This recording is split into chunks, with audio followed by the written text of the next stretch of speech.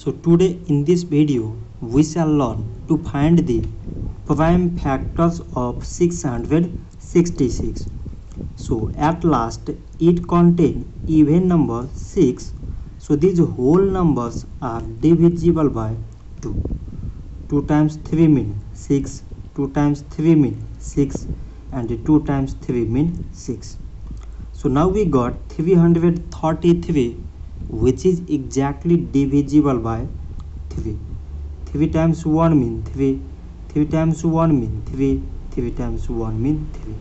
So now we got 111 and when we add all these numbers that is 1 plus 1 plus 1 then we get 3 and 3 is exactly divisible by 3 so 111 is also divisible by 3 so here is 11 3 times 3 mean 9 remainder 2 and this one 21 3 times 7 mean 21 so now we got 37 on dividing 111 with 3 so now 37 is a prime number.